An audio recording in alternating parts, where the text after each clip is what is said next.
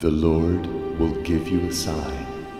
The virgin shall conceive and bear a son and call his name Immanuel, meaning God with us. You, Bethlehem, you not the least, for out of you shall come a ruler who will shepherd my people, Israel. Mary, Yes?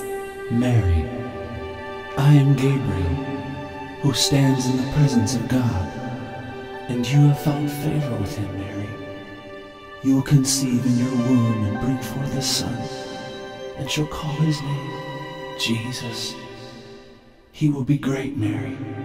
He will be called the Son of the Highest, and the Lord God will give him the throne of his father David. He will reign over the house of Jacob forever, and of his kingdom there will be no end. But I know no man. Mary, the Holy Spirit of God will come upon you, and the power of the highest will overshadow you. The Holy One will be called the Son of God. Mary, with God, nothing is impossible. Let it be to me according to your word.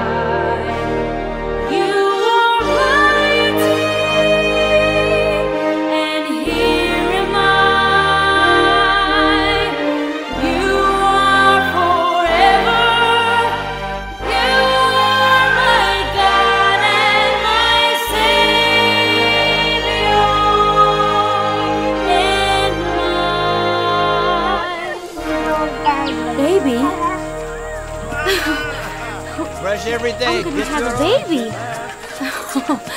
well, this is too good to be true. Who will believe the Lord has, has chosen me? Well, I'm only a young girl. Morning, Mary. Morning. Oh, who could I tell? Elizabeth. Yes, and her husband Zacharias. Well, He's a priest, and they'll believe. Morning, Mary. Hello. They don't live too far. Just down this road, past the market. Baby's going to look like. Will he be big and strong? Isn't the Messiah coming in great power? Isaiah the prophet says the Messiah will be despised and rejected, smitten by God, His soul poured out unto death. numbered Death? the. But how can this be?